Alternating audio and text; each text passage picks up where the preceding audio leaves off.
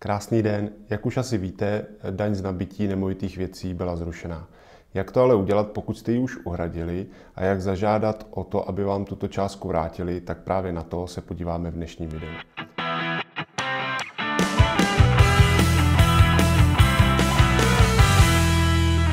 V internetovém vyhledávači zadejte stránku finanční zprávy finančníspráva.cz a hned na hlavní stránce si najděte článek Vzor žádosti o vrácení přeplatku daně z nabití nemovitých věcí, kde dole na konci článku najdete ke stažení Wordový e, soubor. Já už ho mám stažený, takže si ho jenom otevřu. Zde změníte své údaje, to znamená poplatníka té daně, jakému finančnímu úřadu posíláte tuto žádost, zadáte své číslo účtu, na které chcete poslat eh, vrácení té částky, kdy a kde byla tato žádost podána, podepíšete, vytisknete a odešlete na příslušný finanční úřad.